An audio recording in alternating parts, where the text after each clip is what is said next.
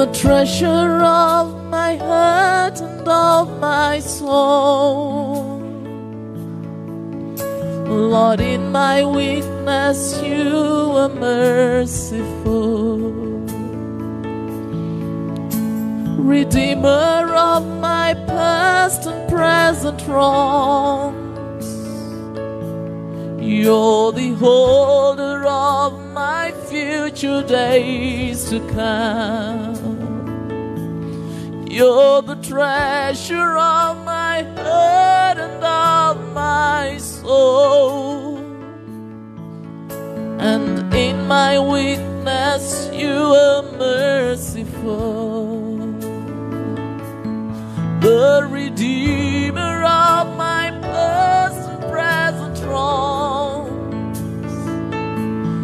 You're the holder of my future days to come. Now your presence is heaven. Oh, your presence is heaven to me, Lord. Your presence is heaven to me, Jesus. Your presence is heaven to me. Lift your voice and say, Your presence is heaven to me,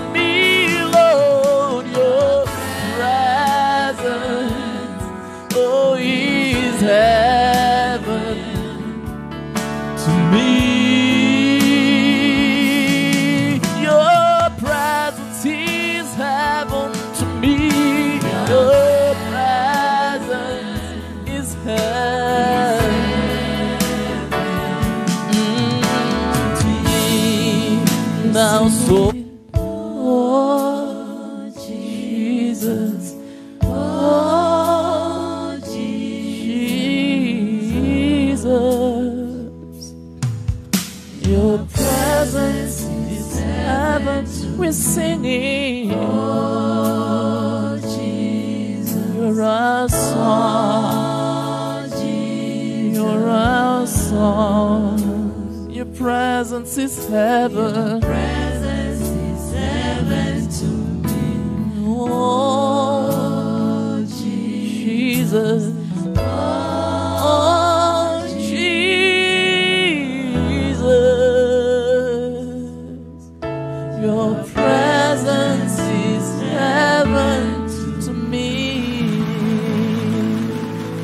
Hallelujah. Continue. Father, in the name of Jesus Christ, we thank you, we lift you, and we glorify your name. You alone are God, and we are here, oh Father, for your sake. We surrender in your presence, oh Father, that you may lead us by your Holy Spirit, that you may guide us, oh Father, in your word, O God, that in everything we say, Lord Father, it shall give you all the glory. And Father, for those ones who are joining us from different places, God, we pray that you may visit them, O Father, and meet them at the point of their need. And this morning, O Father, as we study your word, we want to pray, Father, that you will enlighten our minds, O God, enlarge our hearts, that we are able to capture the revelation that you're giving us this day. We thank you, Father, we lift you, for it is in Jesus' mighty name do we pray with all thanksgiving. And everybody say amen. Hallelujah. Today, this morning, I would love to encourage us, all of us who are here and all of us who are following online. I want to encourage us that we are a walking testimony. All of us are a walking testimony.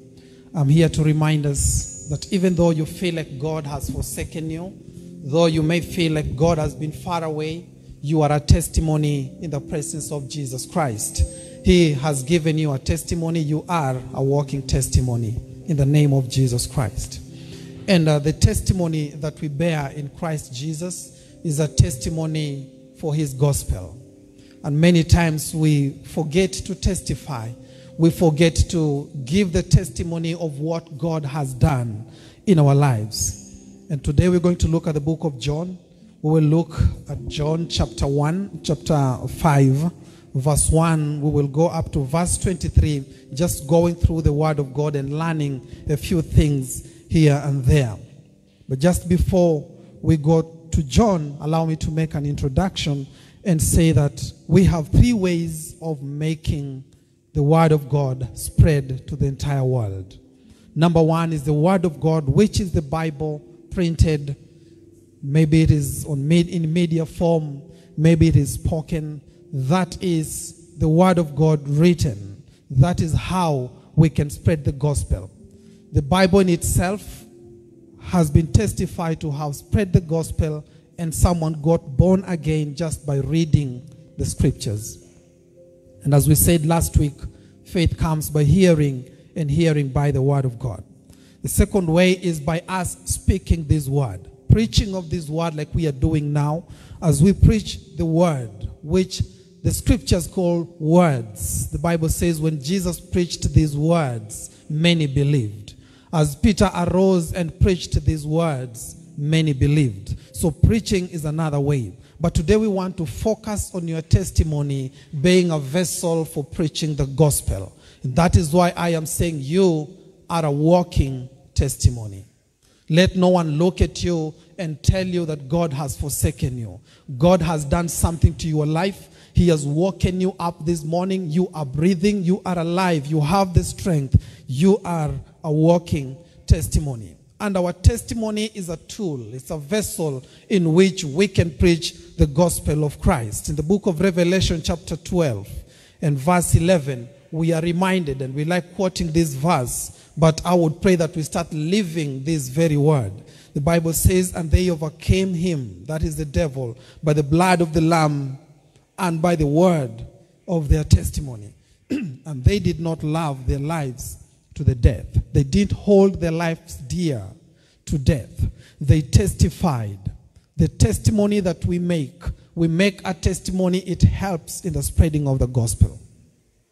There are people in this world who cannot believe in the words that we speak. Even Jesus himself said that some of you have believed what I have spoken. But better are they who will believe because they have not seen. And he says, Though I preach this, many will not believe, but rather believe in the works. When you believe in the works, you believe that Jesus was sent from heaven. So not everybody will be spoken to and they will listen. Some of the people we have at our working places, in the marketplace, when we visit them at home, they have to know the testimony of what God has done in your life. Then they will see that indeed God is great. Hallelujah. Our testimonies are not for hiding under the bed. Our testimonies are for proclamation, so that when we proclaim the testimony of God, as we proclaim this testimony, many will be able to receive Jesus Christ and believe in him. So I know many of us, God has given them testimonies, spiritual breakthroughs, financial breakthroughs, things in life that people laughed at you, yet you received, but God gave you this as a tool to spread his word. I know many people do not know how to give a testimony. Hallelujah. Unfortunately, many Pentecostals do not know how to give testimonies because at the end, we do not see God, but we see them in the testimony. The testimony of Christ is meant that Jesus is lifted in the things that he has done in our lives. So, and sometimes we may be going through hard times, or your testimony is small, or maybe yesterday you received uh, something which is miraculous, today you have not. Does it mean you lack a testimony? No. We always must see every circumstance, the best way to live. And I do this myself, and I pray that everybody would do this. That the best way to live in this life is to see every circumstance in the eyes of eternity that not everything is ending today. Whether it is good or bad, it does not end your life today. Does it take you to eternity? Do you see God in it? Do you see heaven in it? When you live in such a way, you will be able to glorify Jesus even for taking your breath. You will glorify Jesus for eating that bread in the morning. You will bless the name of God because you know that everything you have is not yours, it belongs to God. By His mercy and by His grace, you have received, and therefore it is a testimony. Hallelujah. Because most people will not give a testimony saying, This is too small a testimony. That small testimony is a great tool for preaching the gospel in Christ Jesus so that the gospel may go to the ends of the earth in the name of Jesus. So, seeing every circumstance, whether you are in sickness, see Jesus in it. Whether you are full, see Jesus in it. Whether you are healthy, see Jesus in it. Whether you have money or not, see Jesus in it. Paul says, I have learned to abound, and I have also learned to be in lack. But in all things, I can do all things through Christ who gives me the strength. So, my question to you is whatever you are going through now, whether it is joy, you know, some people are going through a joy and they become so anxious. Praise be to God. Some people are going through pain and they are very anxious even in the pain. When you see Jesus in it, then the anxiety will not be there. But this is the truth about life. This is the truth about life as we read the book of John, chapter 5, verse 1. The Bible says, After this, there was a feast of the Jews, and Jesus went up to Jerusalem. Now, there is in Jerusalem by the sheep gate a pool, which is called in Hebrew Bethesda, having five porches.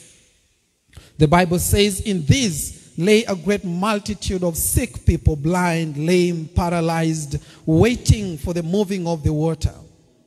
For an angel went down at a certain time in the pool and stirred up the water. Then whoever stepped in first after the stirring of the water was made well of whatever disease he had. Now a certain man was there who had an infirmity 38 years. Praise be to Jesus. What we read from these particular verses is that the, in life there will always be a contrast. When we compare our contrast from another person, you will fail to give your testimony.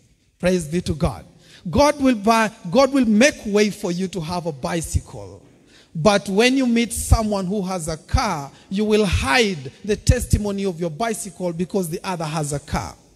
God has afforded you to rent a house or to have a mortgage, and you meet a person who has something better. Hallelujah. Then you don't want to give your testimony because you feel yours is small. There is no small testimony. There is a contrast in life. We've seen in these particular verses that we are reading that these men have been here for a long time, and one of them has been here for 38 years. Hallelujah. Each and every year, sleeping and sitting and just waiting for someone to put them in. The misery of 38 years is too much. Yet for 38 years, other people have been passing through the same, same place to go to a feast. Because this feast of the Jews was not a one time feast, it was a yearly feast. So for 38 years, people have been feasting. Yet this man has been sick. The truth of life is this when you are going through trouble, people will not stop. Life will not stop. Kenya will not stop. Hallelujah. But Jesus will stop for you. Praise be to Jesus. Jesus will always stop for you. So when we're looking at people, when we're looking at government, when we're looking at the society, at the systems of this world, which does not stop for us, what will we say? We will say, everyone has forsaken me. But when we look to Jesus, he will always stop for us. Hallelujah. When we complain about circumstances, when we complain about the systems of the world, we will not think we have a testimony. We will always think that everybody is better than us. Hallelujah. But look at yourself. Look at what God has done. This man's life was not being bought. This man was not in oxygen. This man for 38 years has been there, but in his heart is full of complaints because he says there was no one to put me in the pool. Hallelujah. Instead of thanking God that at least he is alive. Once you are alive, there is a chance for you. Only the dead don't have a chance in life. But once you are alive, it doesn't matter how hard your situation and your circumstances are, how hard the situation in your house is, how hard the situation in the church is, you have an opportunity to get a testimony from God. but life will continue. No one, things will not stop. Hallelujah. You know, this is the truth. I, I remember sometimes I have also gone through some trouble in life. Praise be to God. And when I go through them, in the first times as a believer, I expected everything to stop. Hallelujah. Let the service stop. Let people attend to me. Let the government stop and attend to me. Let the parties stop and attend to me. If you're having a birthday party and I am sick, I would feel bad. Why would you have a birthday and I am sick?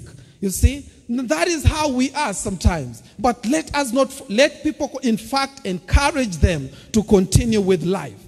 Thank God that you're alive, for they don't have the power to give you the testimony. Only God has it. Hallelujah. I have heard of people who have fallen out of church. I was in a condition and no one came to visit with me from the church. No one came to do this. And maybe one person visited them. And they don't see that person as a member of a church. They think that is just another person. One person visiting you, one person calling you from the church is by the grace of God. Be thankful that at least there is someone around you.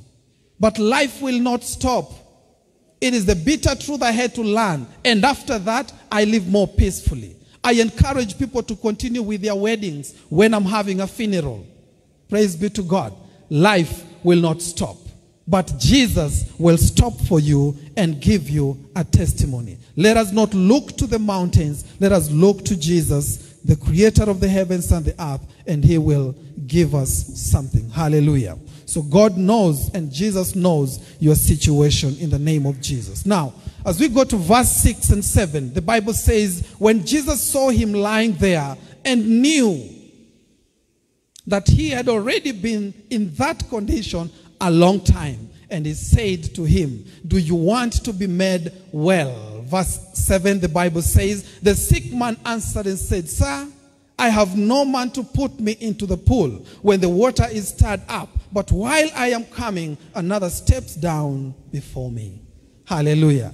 Another steps down before me. This man, when I read this story, sometimes I look at people who fear competition. Hallelujah. They fear competition. They give up because other people have succeeded in front of them. Everybody has his own time. Everybody has his own time. Hallelujah. We all have these excuses. Hallelujah. Jesus came with a very simple question Do you want to be made well? But you see, when you have not managed the contrast of life, when Jesus begins to speak to you, you will bring the contrast that you have seen. Oh, they have gone for parties. Yes, they're, they're smiling, and I am crying. Yes, they're doing this. So this man here has an excuse, a perfect excuse. No one is there to put me in. Yet Jesus is asking, Do you want to be made well? So we all have excuses right from the book of Genesis. We can see in Exodus, Moses has an excuse. God wants to send him. He says, I am a stammerer. Jeremiah says, I am a little man. The disciples say, We are just fishermen. My question to you is, What is your excuse? Hallelujah. Receive your testimony, receive your miracle even this day. Forget about what your dad did to you. Hallelujah. Forget what your brothers did to you. The question is from Jesus, do you want to be well? Hallelujah. The question is not what have they done to you? Because every time you're looking at man, you will have disappointments and it will not help you to answer the question right. The answer would be a simple yes. Hallelujah. Bwana sifiwe sana. In Kenya, we have something we say, maraho, maraho, maraho. That will not help. What will help you now, now, is Jesus is working today. He testifies and says, My Father is working even now. What is your answer? Yes. I want you to go and preach. Yes. I want you to share your testimony. Yes. So long as God is asking and Jesus is asking, what do you want me to do for you? Do you want to be made well? And that is why I love Bartimaeus. What do you want for me to do for you? And Bartimaeus said that I may see again. Simple. And he's made well. So you must know what you want in the presence of the Lord and not only in church, even at home. God can ask you something right in your living room. What do you want me to do for you? What would be your excuse? Hallelujah. Praise be to Jesus. Hallelujah. Now, again, we have to avoid that blame game of blaming this one and blaming the other. that will not answer the question. Christ is always speaking, and in that still small voice, He wants to speak you today, and He has come to make you whole and is asking the question let not the environment dictate how you will answer the question. The environment around us, the people we are living around, the people we are working with, the culture we are coming from, you will start, oh, you know us as Luos, we must do this first, Apana. In Jesus Christ, just answer his question. The environment doesn't matter. Other people will have religion and they will say, you know, in our church, we have to sing first before we pray for a miracle. No. That is not what Jesus is asking. Jesus is not asking about religion. He's asking about what is in your heart. What is your desire? And if you did not come with a desire from home, or maybe you tuned online and you don't have, you had not created that desire, you still have time to create a desire within you and Jesus will meet it. Hallelujah. Praise be to Jesus. In the name of Jesus. Reading verse 8 and 9, the Bible says, Jesus said to him, Rise, take your bed and walk. And immediately the man was made well. Immediately the man was made well, took up his bed and walked. Hallelujah. And that day was a Sabbath. There is another problem. Hallelujah. He was healed on the wrong day. With Jesus, there is no wrong day for healing, no wrong day for miracle. You cannot say, Jesus, don't go give me a miracle here. Wait until we have revival in the church. You know, some people are waiting for revival and prophecy meetings for them to have miracles. Miracles happen even in Bible study. Hallelujah. When, I remember there was a time we were in class and we were reading up there, uh, the pastors of the church. We had a college here. And uh, when we were in that class, I remember miracles taking place right there. People come and before we start class, someone says, I think I am very sick and I'm, I'm almost fainting. I remember that was Brother Gregory. Hallelujah. Sorry for sharing your testimony. I want, after this, I want to go to, to the hospital. Can you guys pray for me? And we, before we started our class, we prayed. After prayers, he was well. He never went to the hospital for typhoid again. He was healed. Another sister of ours came and said, You know, this ear is not even working. This ear is, I, if, if I do this, I cannot listen to anything, I cannot hear anything. Then she said, Could you please pray for us? We laid our hands on him together as a team. And after, before even the class, she was okay. Testimonies don't wait for the timing of man. Testimonies are in timing of God. God's own time. It may be on the road. It may be in your kitchen. It may be in your car. Testimonies still happen. I'm not saying that testimonies don't happen in church. They do happen. What I'm saying is when God has opened the door for that testimony, it is time. No one can stop it. Hallelujah. So allow Jesus to stretch his hand and to bless you. They are saying, and it was the Sabbath, a wrong time according to religion, but according to Jesus, it was the right time. Hallelujah. All we have to do is go by the word of God. The book of Hebrews, chapter 4 and verse 2, the Bible says there are people in the olden days. They heard the gospel, they heard what was taught, but they did not believe in it. The Bible says, For indeed the gospel was preached to us as well as to them. but the word which they heard did not profit them, did not give them a testimony, did not give them a breakthrough, did not give them a miracle. Why? Because not not being mixed with faith in those who had it. They did not mix the word, what you're hearing from me. Don't just listen to it as an information. When what you're hearing during praise and worship, don't listen to it as information and entertainment. When you listen to the main service that the preaching, listen to the word, mix it with faith, and I'm telling you, miracles will happen. Praise be to Jesus. Fix your eyes on the faith that God has given unto you. When the word comes, it is like the faith has already opened your heart to receive the miracle. When I went to Mombasa last, last month and we were there, there is a lady who had cultivated her faith. We don't know what happened to her, but she just woke up one morning and she could not see. Totally. When she came to church, when she heard we were going to Mombasa, she said, I'm coming because men of God are coming from up country. And she came being led by someone in a hand. And she came in to church. During the altar call, she came to the front and she wanted to be prayed for. With a human mind, I was like, hey, God, I know you healed blind people in the past. Hallelujah. But just by faith, doing what Christ has instructed, lay your hands on the eyes and pray over it. I'm telling you, by the end of the service, she was leading worship, she was singing. Testimonies happen each and every day. Miracles are still happening. Is your heart full of faith? So that when this word comes, inaingia ndani na inaandaa kitu fulani. Wakati neno la Mungu linakuja lisije tu na kupata kwamba moyo wako uko mkavu. Acha moyo wako ujae na imani. Wakati moyo wako umejawa na imani, neno linakujwa linachanganywa na inafanya miujiza. Hallelujah. When the word of God finds faith, when the word of God finds faith, brethren, when the word of God finds faith, nothing will stand on your way. Praise be to Jesus. That is why Jesus says, Keep the faith until the end of time. And is asking, When I come, will I find, will the Son of Man find faith on earth? What he wants is your faith. Everything else he has. Hallelujah. He doesn't need your bank account. He doesn't need your tribe. He doesn't need your race. He doesn't need anything. He needs your faith. Do you have the faith? When these people came to him and they were healed, he said, I have never seen such great faith. Jesus is looking for those who have faith.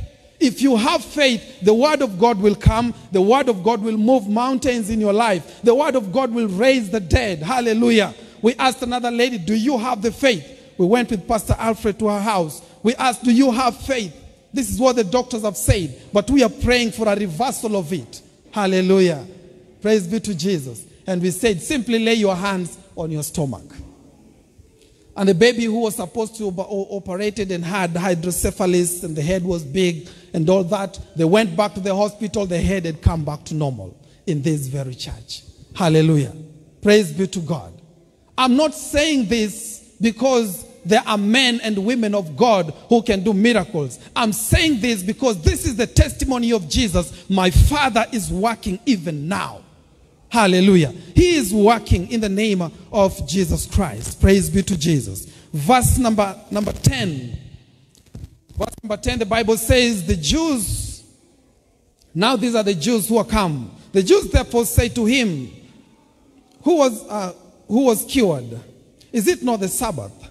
It is, it is not lawful for you to carry your bed. He answered them, He who made me well said to me, Take up your bed and walk. Hallelujah. Now, it doesn't matter what people will say. What did Jesus tell you? In every testimony, and this is very important, in every miracle that God has granted you, in every testimony that God has granted you, even the breathing that you're breathing, there is something God has instructed you to do with it. Are you doing that? Hallelujah. He says, I don't care what you religious people are saying. What I care is this that he who made me well, I don't know him, but he who made me well, I don't know where he comes from. He who made me well, I don't know his profession, but he who made me well gave me an instruction. And the instruction is pick up your bed and walk, because that was his miracle. His miracle came because God wanted the, that, that, that, that faith in him to arise and do something. You know, in healing, they call it, there is a name they call it in Greek, but this name means you do something, I do something. That person who is sick has to do something as the person ministering does something. Hallelujah. We do it together. We do it together. We do it together. Your faith does something. The man of God does something in faith. Unless, of course, you are bedridden and you're dead.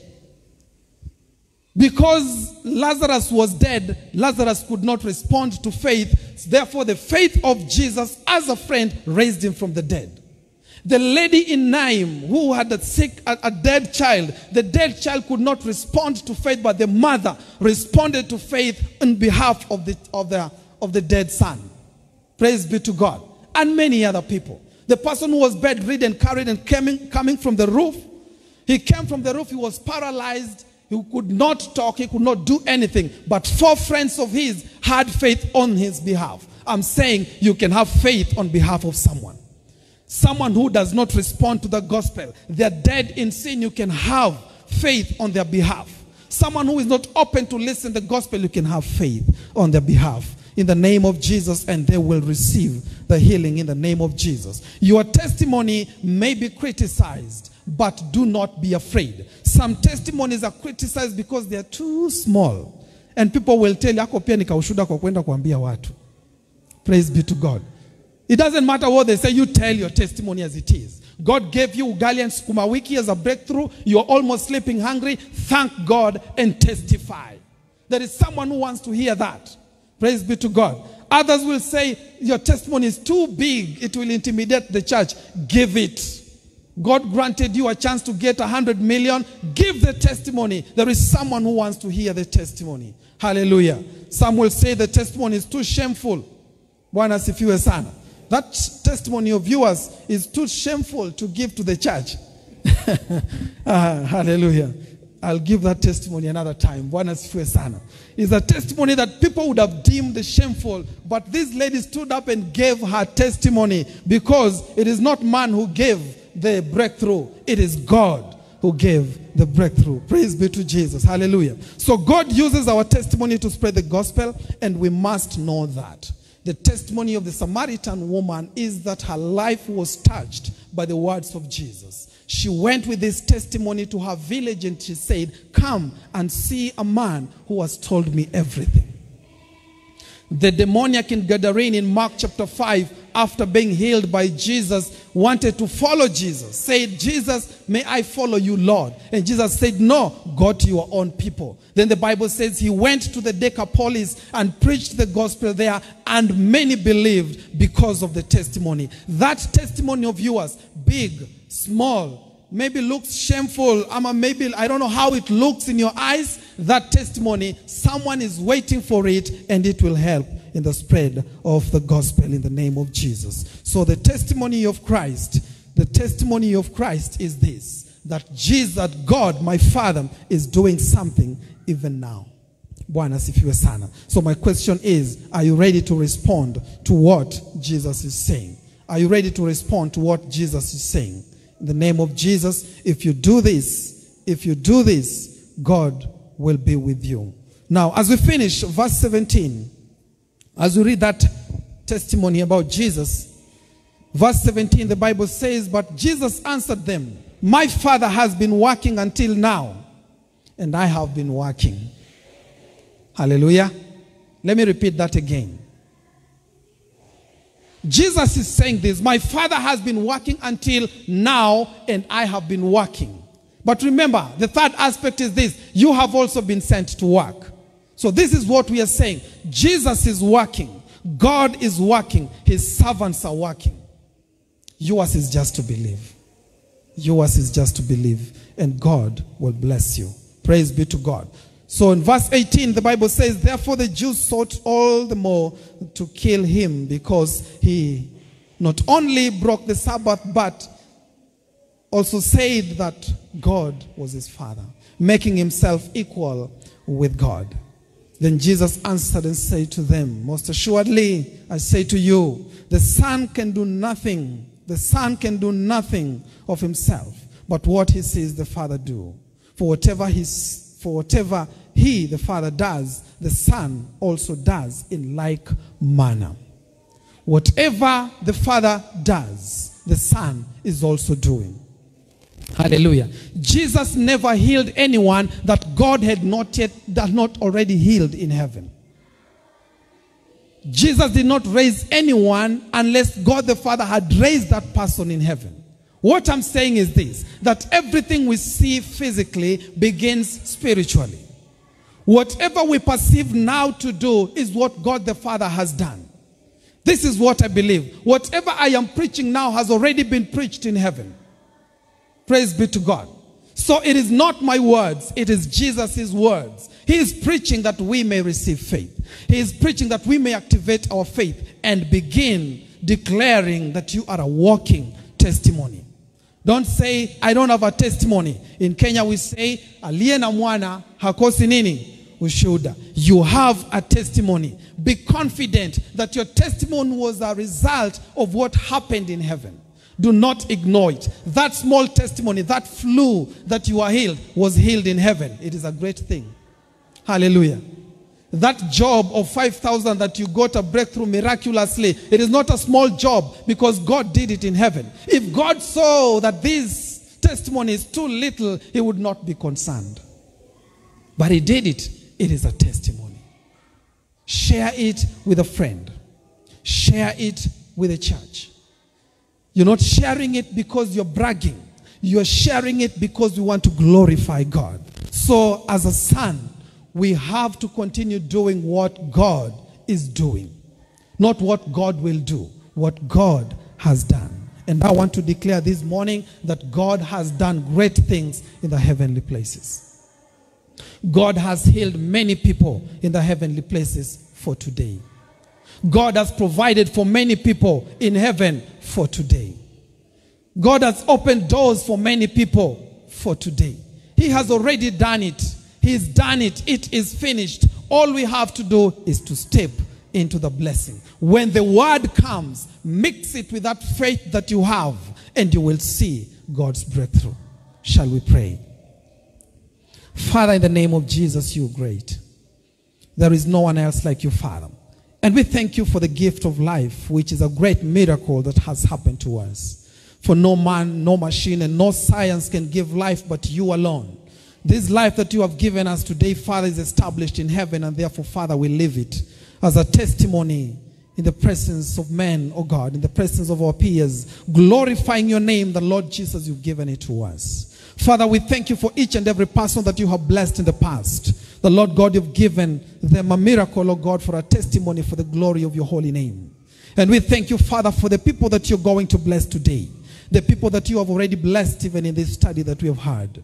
King of glory, we pray that as we utter this testimony, may it be a vessel for the gospel to glorify the name of Jesus, that many will see and thirst for your kingdom, and that many will be drawn to you, O God, that their lives will never be the same. The Lord, you will change their lives also. Father, we want to thank you and we want to bless your holy name. For those ones who are watching us online, Father, we pray that you may meet them at the point of their need. As they have raised their faith, meet them with your word of power. And Lord, grant them the miracle they desire, the miracle they desire this morning in the name of Jesus Christ. We thank you, we lift you in Jesus' name. Amen. And we want to thank each and every person who's been here on the auditorium. Let's give God a hand of praise.